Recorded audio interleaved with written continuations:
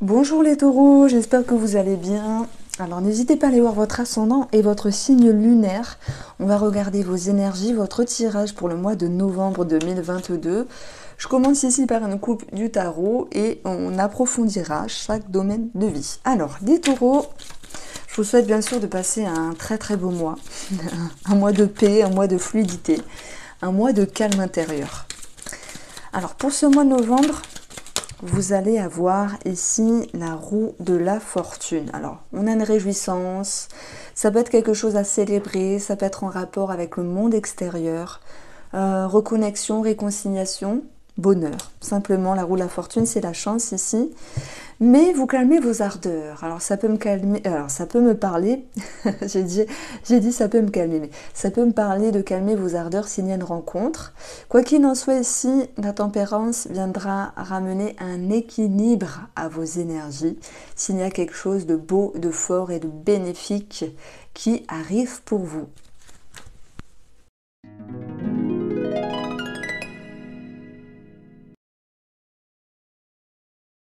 Alors, les taureaux, nous voici avec vos énergies. Je commence ici par le cadre familial, la sphère familiale. Maintenant, il est possible que ça vous parle bien sûr d'amour, puisqu'on a l'amour, mais euh, il y a des personnes qui me diront, ben non, moi c'est un collègue ou c'est une amie. Ici, c'est pour moi la sphère familiale, l'amitié, les connaissances, les collègues qui peuvent ressortir, le financier, le professionnel. Donc, on va approfondir tout cela. Et puis, on regardera en milieu de guidance de vidéo une question-réponse ainsi que euh, le tirage sentimental. Donc ici, avec ces énergies-là, pour moi, euh, vous cherchez à être authentique. Vous cherchez le choix du cœur par rapport à une personne. Qu'il y ait une situation à travailler, une problématique ou l'idée que vous deviez vous positionner face à une personne, vous recherchez pour moi à être juste par rapport à vous. Et ce deux de coupe, c'est l'idée d'une connexion, d'un duo et d'une association. J'aurais pu vous dire oui, c'est par rapport à une personne. Bien sûr, puisqu'on parle de relationnel, familial, et on a quand même cette croix, où il peut y avoir une forme de tristesse. Donc par rapport à quelque chose qui est désagréable, on a 7. Donc 7, ça peut être une femme, le serpent, une maman, une belle-maman, une femme de la famille.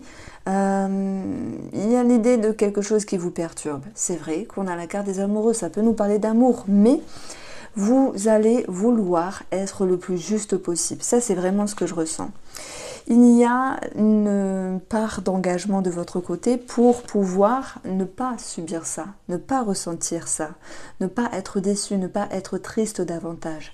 Et c'est comme si ici, avec l'anneau, il y avait une décision, puisque l'amour, les amoureux nous parlent de décision à prendre par rapport à une personne. Ok. On va approfondir. Je ne vais pas vous laisser comme ça. Pourquoi il y a une forme de déception dans le cadre familial à un moment donné? Puisqu'il y a un blocage. Les nœuds, ça peut être aussi les liens. Les liens qui sont noués, ça peut être en rapport avec des non-dits, des choses qui ont été mal comprises aussi, ou une situation qui s'avérait bloquée, peut-être sur une signature, un engagement, par rapport au patrimoine, sous-entendu, un héritage. Qu'est-ce que vous, voulez? La façon dont vous voulez réagir, c'est prendre un temps de pause pour pouvoir réfléchir au mieux ou euh, mettre une distance par rapport à cette personne en respectant ici votre choix d'y voir plus clair et d'être authentique. Ça va vous amener ici euh, par la suite à vous dire les choses avec vous-même et aussi après ce moment de pause, à éclairer tout ce qui est non dit, tout ce qui est latent. c'est comme s'il y avait une mise au clair avec une personne et que vous, les taureaux, vous souhaitiez justement être euh, authentique avec vous-même et authentique avec l'autre personne. Plus de mensonges, plus d'ambiguïté, plus de non-dit. Après les gorges nouées, entre guillemets, place aux échanges et à la communication. Donc euh, voilà comment je ressens cette carte à nous. Engagement. Engagement avec vous-même d'éclairer une situation, mais de rester fidèle à vos valeurs et à ce que vous êtes ici. Bon, c'est plus d'ordre, euh, voilà, c'est vrai que j'ai parlé de parents, ça peut être des beaux-parents, ça peut être un autre membre de la famille. Maintenant, vous pourriez vous dire, ben moi, ça me parle d'une telle personne qui n'a rien à voir avec la famille. Prenez-le. Euh, moi, je, trouve que c'est bien de suivre votre cœur ici et de vous dire que euh, vous n'allez pas faire semblant. Il n'est pas question d'être dans des faux semblants, il est question d'être juste et d'être vrai. Donc une mise au clair après une période, euh, on va dire, nouée avec une personne. Je pense que si je me sers un petit peu de ce qu'on a dedans, il y a une forme de lâcher prise aussi. De lâcher prise parce que vous respectez. Alors on va quand même regarder. Où va mener cette situation-là? Ça va ici vous amener, voilà, à lâcher prise, ok, à revenir en arrière sur vos pensées, mais il y a quand même une distance entre vous et une personne de votre famille, mais c'est voulu et acceptable de votre côté. C'est comme ça, vous voyez, parfois c'est un petit peu la goutte d'eau de trop. On va le retrouver également ici. Alors, sur le plan relationnel, ami, il y a quand même une suite par rapport à la famille, puisque la maison est là, amis, collègues, connaissances. Il peut y avoir des documents ici, des officialisations en rapport avec euh, le patrimoine, un déménagement, un achat-vente de quelque chose. Sur un plan plus énergétique, il y a peut-être quelqu'un qui a voulu retendre la main, as de denier, euh, mettre euh, de ciments, on va dire, euh, sur l'édifice, sur les fondations pour pouvoir construire quelque chose. Mais on vous voit ici dans un 8 de coupe. Le 8 de coupe, c'est une énergie qui s'en va vers autre chose. Donc en fait, il y a un changement dans la façon de faire, dans la façon de penser, dans la façon de vous comporter par rapport à une personne qui vous entoure. Mhm. On rejoint aussi la famille qui retombe ici.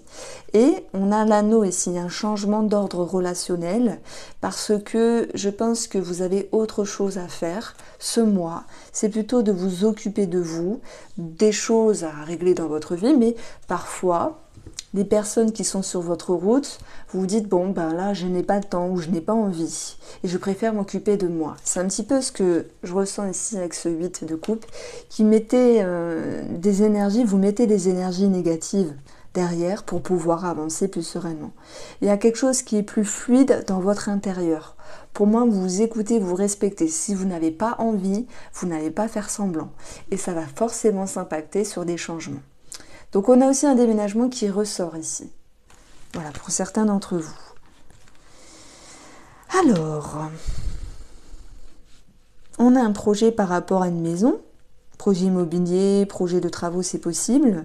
Ça ressort puisqu'on a aussi euh, l'enfant qui va apparaître comme un nouveau cap, un nouveau cycle.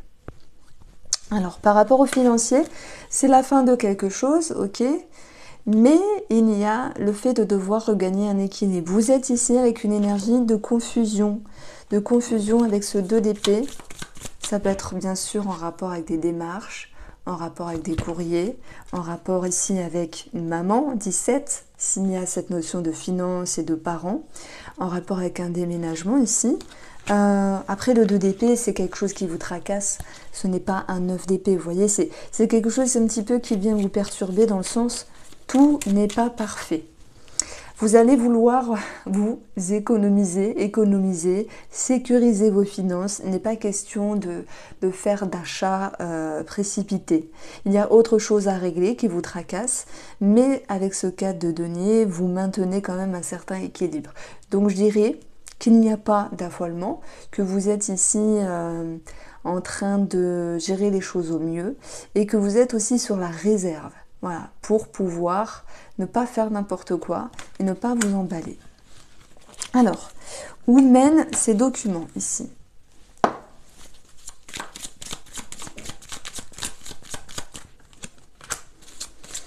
Ça peut être en rapport avec une personne de cœur, en rapport avec un projet qui vous tient à cœur. Ça peut être aussi une somme financière par rapport à un travail, mais les études, voilà, on va plutôt l'aborder comme le plan administratif ici, des documents, euh, de l'organisme.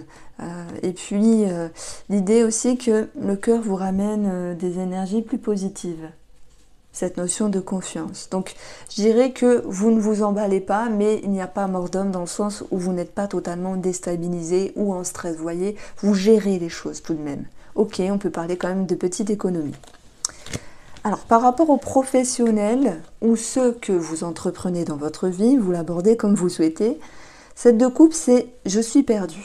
Je suis perdu, mais la grande prêtresse va vous permettre d'y voir plus clair, d'analyser, de prendre conscience des choses, parce que vous allez pouvoir ressentir ce qui est bien ou non pour vous. Il se peut qu'il y ait quelque chose ici qui euh, ne va pas dans votre sens. Ça peut être un manque de confiance, ça peut être vos projets qui sont mis à mal ou le relationnel euh, au niveau des collègues qui est un petit peu bloqué à un moment donné. Vous allez pouvoir ici, avec l'énergie de la tour, prendre de la hauteur par rapport à cette situation ou votre fonctionnement professionnel ou ce que vous entreprenez dans votre vie. Donc cette grande prêtresse, ça va pouvoir mettre en lumière. Et en fait, c'est l'idée de qui cherche trouve. Parce que même si vous êtes perdu, vous vous offrez aussi une certaine possibilité d'avoir plusieurs champs des possibles pour vous, dire alors lequel choisir? Est-ce que c'est ça à tel moment? Ou est-ce que c'est ça? Est-ce que je me comporte comme ça ou comme ça? Et l'énergie de cette carte-là va vous ramener à quelque chose de plus centré. Donc après cette grande prêtresse, on a l'impératrice l'impératrice qui met euh, vraiment en, comment on peut dire ça, en mouvement euh, ce qu'elle veut et qui est dans la croissance. Donc il y a une forme de réflexion ici. Bon, pourquoi il y a cette réflexion? Alors bien sûr, ça peut être par rapport à un changement ici professionnel. Pour d'autres, c'est sur le fait de retrouver une certaine stabilité dans les ressentis, euh, il peut y avoir des dissonances par rapport aux, collègues aussi, mais euh, je pense que vous avez cette capacité de vous éloigner des énergies négatives. Et puis il y a des personnes ici qui sont en lien avec des études, des formations. Oh, c'est aussi ça la grande prêtresse. C'est l'étude et la formation. Donc il peut y avoir une réflexion à ce niveau-là de se dire je ne sais pas que choisir, à quel moment je suis perdu. Donc ok, il y a des remises en question. Pourquoi Pourquoi il y a cela? ok, réflexion. Donc, il y a des remises en question. Ça va vous amener ici à prendre de la hauteur, prendre du recul, prendre soin de vous aussi pour y voir plus clair. Et ça va vous amener ici à être engagé. Engagé, donc bien sûr, contrat signature, changement pour d'autres, mais être engagé avec soi-même, c'est y voir plus clair, parce que vous ne faites pas l'autruche. En fait, je pense que dans vos énergies, on peut parler de mettre fin à des non-dits, qu'ils soient extérieurs, là, avec la famille, ou des, petites choses avec des collègues qui vous saoulent, mais c'est surtout avec vous-même, dans cette possibilité d'y voir plus clair. Alors, je vous propose de rester avec moi deux minutes. On fait une question-réponse avec l'oracle Moho. Si ça ne vous intéresse pas, eh bien, je vous invite à aller voir dans la barre d'infos le tirage sentimental. Alors, je pose trois cartes, une problématique, le moment présent et les possibilités. Vous vous posez la question, c'est un petit peu ce qu'on a retrouvé finalement avec, euh, avec beaucoup de réflexion de toute manière à l'égard d'une personne qui vous entourait, sur la façon de vous comporter, qui générait hein, à un moment donné une confusion, un manque de stabilité. Réflexion aussi, on l'a retrouvé dans le domaine professionnel. Alors, sur le moment présent, vous sentez piégé. Ok. La toile d'araignée nous parle aussi de liens tissés, donc par rapport à une personne. Comment s'agencer comment se comporter, comment, euh, euh, oui, comment se comporter face à elle finalement. Et vos possibilités ici, c'est la découverte, c'est euh, le fait d'y voir plus clair, c'est aussi apprendre quelque chose qui va faire bouger les énergies. Je pense que, je vais aller un petit peu plus loin dans cette lecture, il y a un effet miroir par rapport à vous et une autre personne. Les taureaux, vous allez me dire, oh là là, elle n'est pas sympa, dans le sens où euh, si vous vivez une problématique avec une personne qui vous entoure, vous dites, oh là là, mais elle me saoule, elle me casse la tête, elle a tort, elle fait l'autruche, il ou elle. Elle ne veut pas euh, euh, voir la réalité en face. Je ressens comme l'idée d'un effet miroir. Qu'est-ce que vous pouvez comprendre de cette situation-là? Qu'est-ce que vous pouvez voir ce qui vous gêne en face de vous qui est déjà en vous? Donc, est-ce que ça vous parle, l'effet miroir? Alors, sur la découverte, on a les échanges. De toute manière, vous allez pouvoir vous dire les choses, passer du non-dit aux, aux, échanges, à la communication, que ce soit intérieurement avec vous-même par rapport à cette personne en question. Alors, je commence par le tirage sentimental des couples.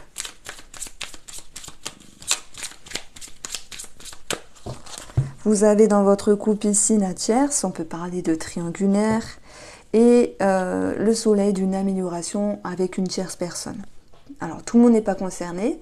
Euh, si on parle de votre propre relation, on a ici une ouverture d'esprit l'idée de voir plus loin que le bout de son nez, désolé, hein. et euh, le soleil va nous parler d'une amélioration, aussi d'être visible, d'une certaine reconnaissance. Et puis le soleil fait vibrer, réchauffe, rehausse. Donc il y a quelque chose de meilleur dans la relation. Donc ça c'est pour l'énergie avec la coupe. Vous avez le monde, effectivement. Succès, réussite, bonheur, euh, aboutissement. Euh, ça peut nous parler de reconnaissance, euh, de succès par rapport à vous, une autre personne. Mais on a quand même ce petit blocage, blocage sur le monde extérieur qui va pouvoir tout de même vous faire travailler sur votre amour propre. Alors quand je dis le monde extérieur, c'est la personne de votre cœur ou celle que vous avez dans votre tête. Ici, l'impératrice, elle a ce pouvoir de trouver les clés par rapport à ce qu'elle a. Pourquoi? Parce qu'on parle d'amour ici. Euh, l'impératrice nous parle d'une maman. J'ai parlé d'une maman tout à l'heure dans le cadre familial où ça ressort. Maintenant, euh, je dirais que il y a une situation qui se débloque, mais c'est comme si elle n'était pas euh, totalement satisfaisante pour vous à un moment donné. Et pour moi, vous allez pouvoir en prendre conscience et trouver les bonnes clés qui, va, qui vont avec cette serrure pour être à nouveau dans la satisfaction, la séduction, euh, l'échange par rapport à la personne de votre cœur. L'impératrice, c'est aussi des projets. Donc, euh, on a quelque chose qui peut s'amorcer en termes de projets, voilà, en commun dans la relation, avec des, des petits nœuds à un moment donné. Alors, vous allez pouvoir vous investir et savoir aussi lâcher prise sur ce qui dérange et s'impacte dans les énergies de la relation pour pouvoir ici être dans la navigation des eaux un petit peu plus tranquille, lâcher prise, être euh, moins dans la pression, être plus dans la légèreté ici. Cette impératrice, elle est aussi avec l'énergie du magicien, la manifestation. Moi, je pense que même s'il y a des énergies extérieures, peut-être en lien avec un travail, on avait vu, ça vous perturber les taureaux. Ça peut être en rapport avec euh, des personnes qui vous entourent. On l'a vu avec la famille, les collègues, ou un projet. Je prends l'exemple des artisans, etc. pour une maison. Euh, faut gérer les choses, ok, c'est pas toujours évident. Ça s'impacte dans les énergies de la relation, mais vous allez pouvoir vous dire je ne me laisse pas abattre, je retrouve la personne de mon cœur et je mets tout en œuvre et en ordre pour retrouver une certaine alchimie. Ça me parle de, connexion, d'alchimie ici et de séduction. Alors on va approfondir et je vais prendre le line of love. Pourquoi on a ce blocage parce qu'à un moment donné, il y a une confusion. Et ça aussi, ça me parle des taureaux qui, pour ce mois de novembre, sont un petit peu dans l'exigence. Alors, tout ne va pas se passer comme vous le souhaitez, dans le sens où c'est la vie. c'est la vie parce que ça n'existe pas une, relation qui se passe exactement comme on le souhaite, où tout est parfait, où vous vivez euh, uniquement d'amour et d'eau fraîche. Il y a toujours des choses qui viennent vous enquiquiner, mais vous avez cette capacité vraiment de savoir lâcher prise. Cette confusion, elle peut être en lien avec une personne extérieure, la famille, et il y a aussi l'idée de sacrifice. Alors, euh, cette carte-là, bizarrement, je la sens positive dans le sens où vous vous dites, ok, il y a des énergies extérieures qui s'impactent négativement dans la relation, mais vous ne vous laissez pas abattre. Vous faites ce qu'il faut, vous vous investissez par rapport à la personne en face de vous en faisant des efforts pour chasser ou mettre de côté toutes ces énergies, ces pensées négatives, vous les gardez pour vous, pour ne pas que ça s'impacte davantage dans la relation.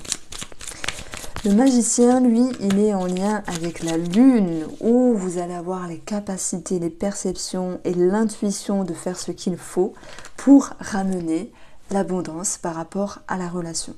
On parle d'inquiétude sur une somme d'argent. C'est ça aussi qui peut aussi générer une forme de stress. Il faut retenir que euh, pour moi, il y, a de, bonnes énergies entre vous et l'autre, mais ce qui vous dérange, c'est une énergie extérieure où vous allez réussir à dépasser, sortir la tête hors de l'eau. Alors, par rapport aux célibataires taureau,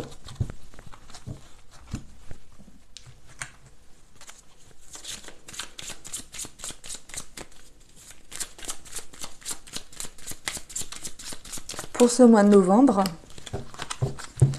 vous avez dans votre couple la maison et la mort. Alors, Ici, ça me parle de mettre fin à une certaine sécurité, comme si vous aviez envie de sortir de vos carcans, de vos tranchées et aussi de vous ouvrir. C'est la fin d'une certaine réserve et prudence, méfiance à l'égard du monde extérieur ici. Il y a quelque chose qui bouge. Ça vous rend un petit peu perplexe. Comment avancer? Comment s'ouvrir à l'autre, si c'est possible Comment euh, faire pour rencontrer une personne si vous en avez envie vous avez ici cette notion d'insatisfaction parce que c'est comme si, alors je remets exigence sur le tapis, je veux que ça se passe comme ça, je suis prête à m'ouvrir, je suis prête à, rencontrer, l'amour. Alors je dis prêt, ça peut être, alors je dis prête, mais ça peut être prêt aussi. Et on voit qu'après un moment de retenue, vous êtes dans une forme d'action ici beaucoup de réflexion, d'analyse sur comment s'ouvrir pour un mieux. Et pour moi, vous souhaitez une situation qui soit claire et pas ambiguë avec une personne. Euh, pour ne pas justement retomber dans d'anciens schémas et surtout sur cette notion de dépendance. Maintenant, la lune va vous dire, ok, il y a une partie de vous qui est prête, mais il y a une autre partie ici qui est quand même ici dans une certaine réserve. Et, voilà pourquoi, pour moi, les taureaux célibataires qui peuvent vouloir s'ouvrir ou rencontrer une personne en face d'eux se disent je m'ouvre, je fais un pas devant, mais un peu en arrière. Et après le lendemain, je fais deux pas devant et un peu en arrière. Vous avancez, mais vraiment d'une manière assez lente, tout comme nous l'exprime la papesse, parce qu'on voit que tout n'est pas encore travaillé dans votre intérieur et par rapport à vos peurs. Voici les taureaux célibataires, j'espère vous avoir éclairé. Je vous embrasse, passez un très beau mois de novembre.